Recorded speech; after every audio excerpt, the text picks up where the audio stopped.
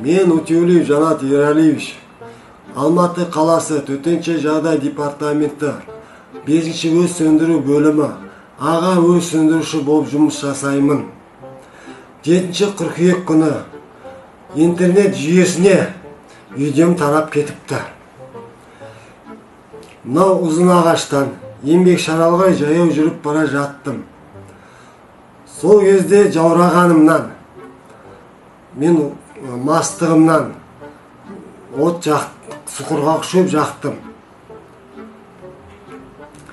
Мынау мени эч ким ешкім жок.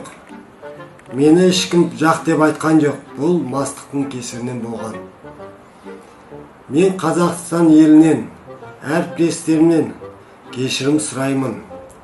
Мынау қазақстан елінде болып жатқан басқа өрттерге қатысым жоқ. Мен өз кінәмді мойындаймын и өкінемін. Елдерден кешірім сұраймын.